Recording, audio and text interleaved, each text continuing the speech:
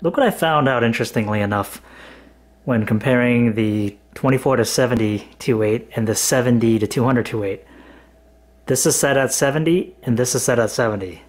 Check what happens when I defocus it, defocus the tree here.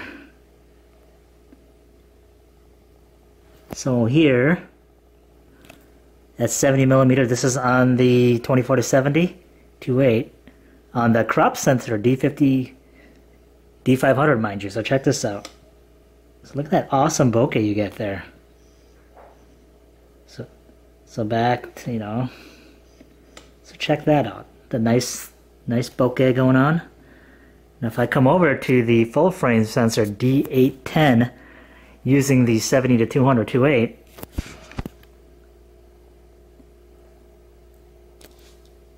And let me defocus that for you. Not quite the same bokeh, is there? That's really interesting. Now, I'm not sure if that's because of the design of the lens or just the subject to camera distance, because I'm literally, the tree is literally four feet away from me here, so it's not very far away, as you can see.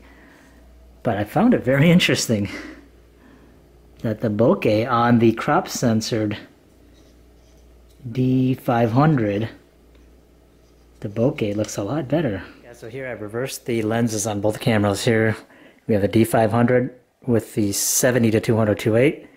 Here we have a full frame D810 with this 24 to 70 2.8. Now check out the bokeh on this guy here. Let me focus in. And as you can see, that's the bokeh autofocus, defocused at 70 millimeter.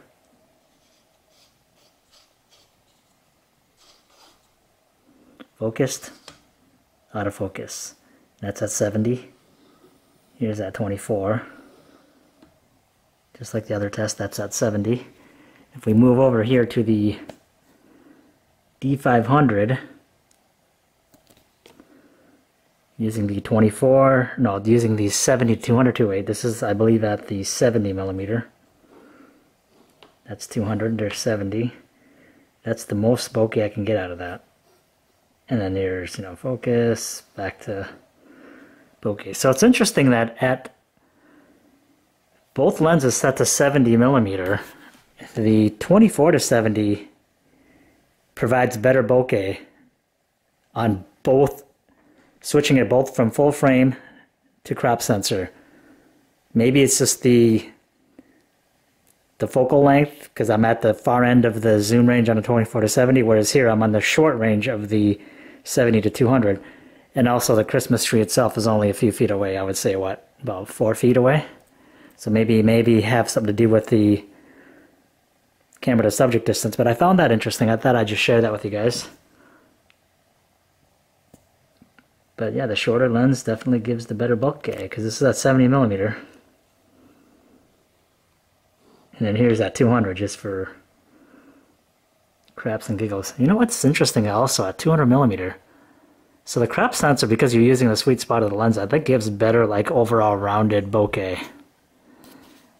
Nice auto, you know, where the autofocus parts are actually circular rather than the oblong shape like I showed you on the full frame because you're using the edge of the lens. And going back to the full frame.